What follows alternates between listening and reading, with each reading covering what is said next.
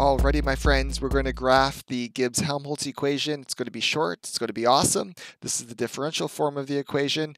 And let's just jump into it. Okay, if you need to know how to derive the equation, I've got lots of videos on deriving it, but we're going to graph it today. And we're going to do that using an example. And this is the example. Calculate the change in enthalpy. This is the standard change in enthalpy for the freezing of water. And we're given some data. We're given change in Gibbs energies for various temperatures for the freezing of water. And if we see this first line here, this is 0 degrees Celsius. At 0 degrees Celsius, delta G is 0, which means water, liquid water, and ice are in equilibrium. The two phases coexist at 0 degrees Celsius. That's the melting point or the fusion point.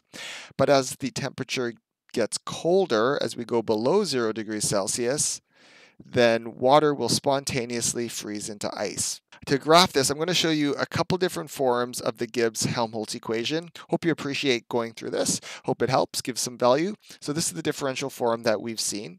And we can also integrate this to get the integrated form. Okay, and one more form is, I say, another differential form, which they show in the textbooks. But if you look at this form right here, this is showing the change of delta G over T versus the change in 1 over t, differential changes. So this is like, if we think of a slope and graphing it, this is like rise over run. Okay, so if we graph a plot of delta g over t, this is like the y, d, this is like dy, think of it like that, or delta y. It's not a delta, but you can kind of think of it like that.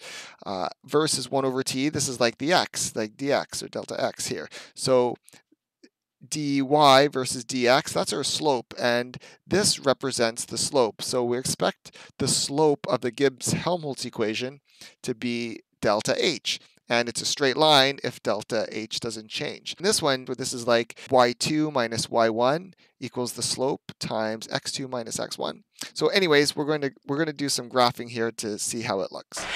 All right, so I'm in Excel now and I've typed all the data into Excel, the delta G's and the T's, the temperatures, and this is our equation that we're going off of. So we want to plot delta G over T versus 1 over T. So we need to know what 1 over T is. So I'll type that in, I'll do equals uh, 1 divided by this cell, and then this one, delta G divided by T. And then I want to do that for all of them, so I'll just highlight it and drag this corner down. So now I have the 1 over t's in uh, Kelvin, 1 over Kelvin, and then the delta g's over here. And now I want to plot this, and I want this to be the y-axis, this to be the x-axis. And I already did that, so I'll just kind of move this over. And if we do insert chart, we get this plot here. So if you can read on this right side, this is delta G over T, kilojoules per mole Kelvin. This x-axis is 1 over T in 1 over Kelvin.